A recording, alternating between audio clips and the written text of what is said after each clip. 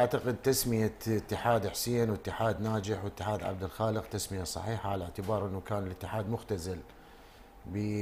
يعني هذه الأسماء الثلاثة أما اتحاد عدنان رجال فاعترض عليه لأنه هو اتحاد عراقي لكرة القدم. أعتقد الاتحاد العراقي الحالي بعد انتخاب المكتب التنفيذي منذ يعني ما يزيد عن سنة وثلاثة أشهر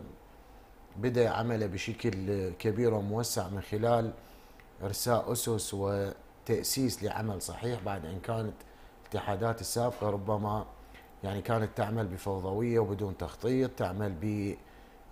بآنية معينة تعمل بارتجال. الآن المكتب التنفيذي في اتحاد كرة القدم وضع خطة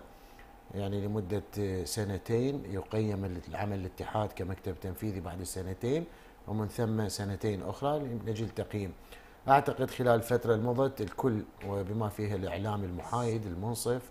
بما فيه الجماهير بما فيه أصحاب الاختصاص أكدوا أنه رغم التعثر اللي صار في بداية العمل في المكتب التنفيذي لكن